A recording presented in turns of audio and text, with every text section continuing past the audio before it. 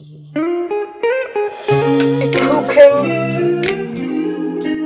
guys, welcome sa aking vlog. At today, magluluto tayo ng pulburon. Mission po. First, nandito yung list ng ingredients. And I don't give a F-U-C-K what you say about me. pulburon. At first, magme-measure muna tayo ng mga ingredients na yan para mas madaling magluto. Truffles.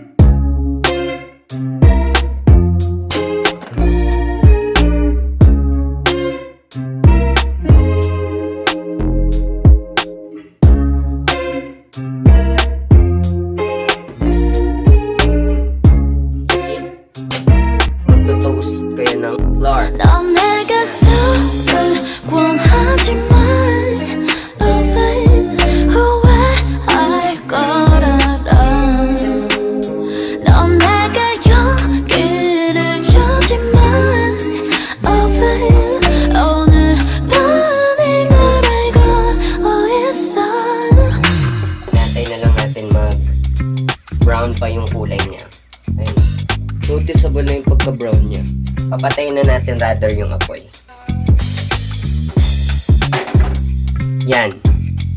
Ready na siya na lagyan ng milk, sugar, saka ng ating flavors. Mix well. Butter. Mix well. Mix well.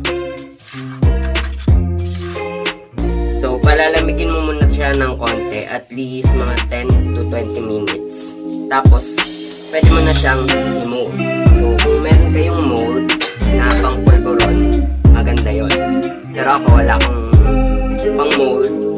Kaya ang gagamitin ko na lang is itong spoon. So, kailangan malinis yung kamay mo. Tatakot ka, press mo siya sa loob ng spoon.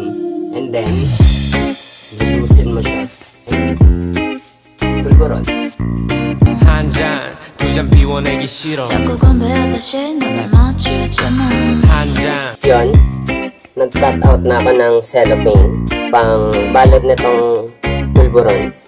Babalutin na natin siya.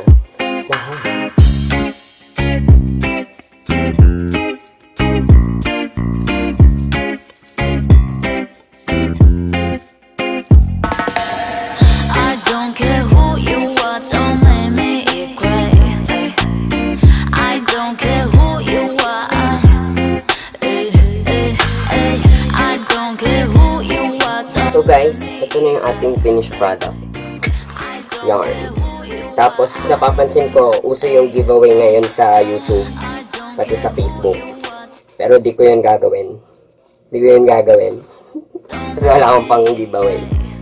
With that being said, make sure to follow me on my socials. Links would be in the description below.